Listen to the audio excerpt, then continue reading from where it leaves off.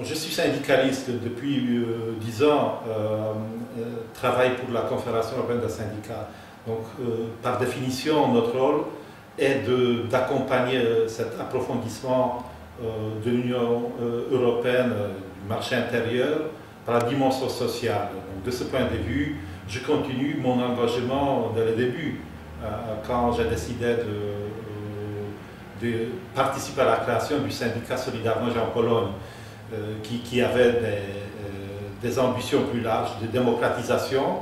Je pense dans, dans les deux sens, c'est toujours la même, euh, la même continuité. Le, projet européen était très, très ambitieux et parce qu'il a permis d'achever des, des, choses qui n'étaient pas imaginables avant, la paix, la démocratie. et si, maintenant euh, il y a des doutes, c'est parce que euh, nous sommes dans la crise. Donc nous, considérons euh, qu'il y a toujours des, outils, des projets qui peuvent aider la construction européenne à, continuer à vivre, à donner des réponses. Mais la réponse la plus importante, c'est la capacité de créer des emplois et des emplois de, qualité.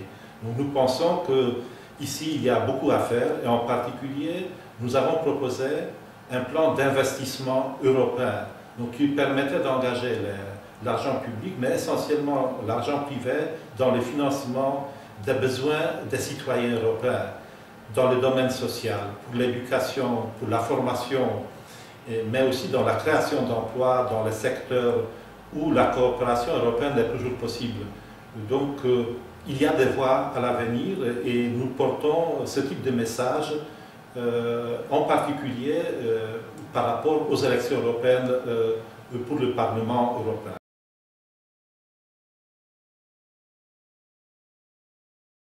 Le, Parlement européen est une institution européenne où les, citoyens ont, plus de possibilités d'influencer le choix des personnes qui vont prendre des décisions.